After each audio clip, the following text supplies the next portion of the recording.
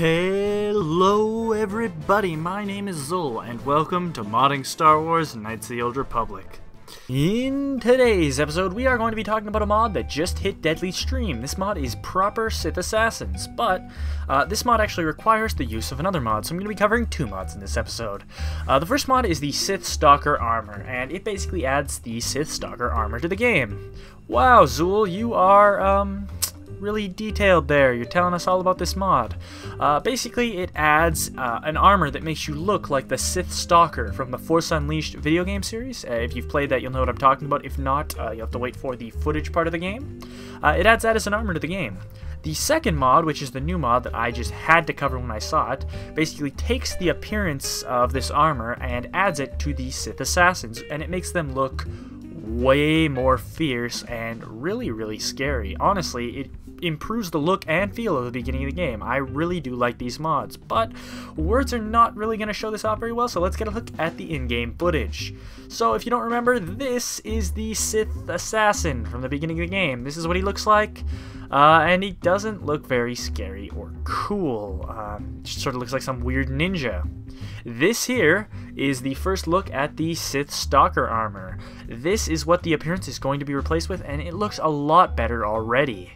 As you can see, uh, he has a pretty cool weapon. He's got that sort of flesh-grafted arm. If you played The Force Unleashed, you are very familiar with this. Uh, and that's pretty much what this mod does, is it just adds these guys to the game. They look a lot better. Of course, since you have this mod installed, you're also going to have the armor installed, and the armor looks absolutely fantastic. The level of detail and work put into this is astounding, and I applaud the mod authors and anybody who worked on this project, because honestly, I love stuff like this. I love armor mods that add just cool new stuff to the game. Doesn't it look fantastic? I know this is a bit of a short episode, but honestly, I just had to cover this mod. I, I just had to.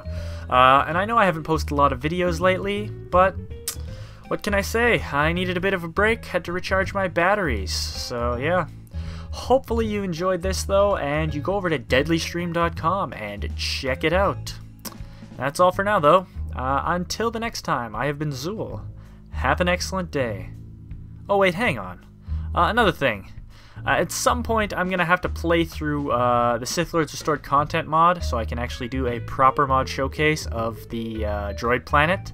So if you have saves uh, anywhere close that are compatible, that would actually help me out just because I don't really have time to play through the whole game. I am slowly working through it, but you have saves uh, close to there, we can I can try and get those working. Just PM me uh, on Deadly Stream or on YouTube, and that would help me a ton. I'll give you a shout out in the video. Anyway, thank you very much for watching. I've been Xuul. Yada da da da. That's the outro.